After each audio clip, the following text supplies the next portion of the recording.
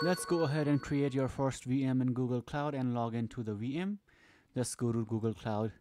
This is the URL. I'll have this in the description below and click on console here on top right. And in the console, you'll see a set of quick actions that has create a VM, run a query in BigQuery and so on.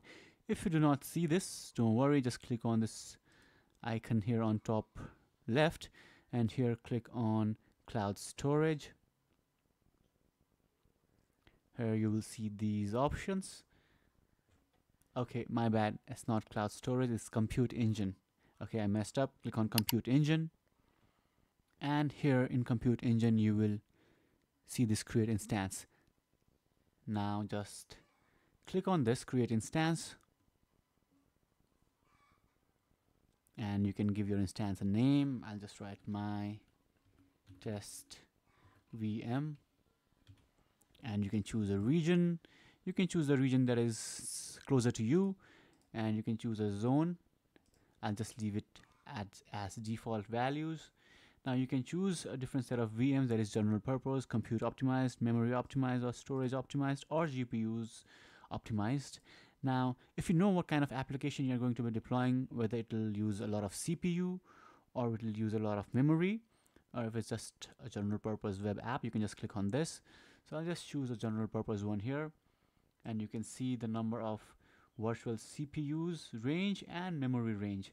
Okay, now according to requirement, it can go up to 32 CPUs and up to 128 GB of RAM.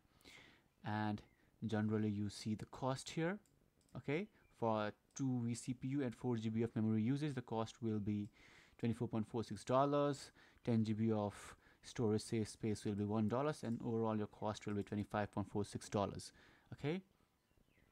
Now you can change your VM specification from here okay? I'm on E2 medium you can switch to E2 micro and the cost will be lower.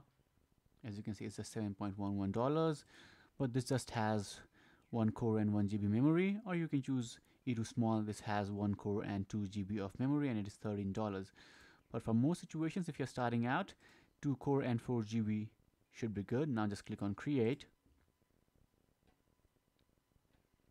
And your VM is being created.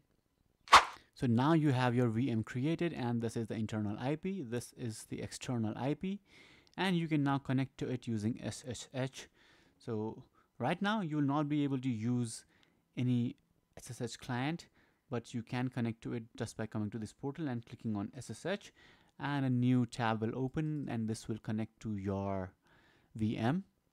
And once you are connected to the VM, you can create a user, create a password and connect to it using any other SSH client or command prompt or terminal.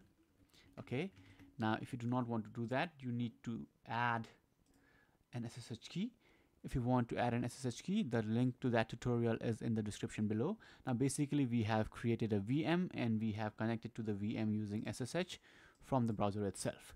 If you want to learn how you can SSH into this VM without opening the browser and logging into Google Cloud, check the link in the description below.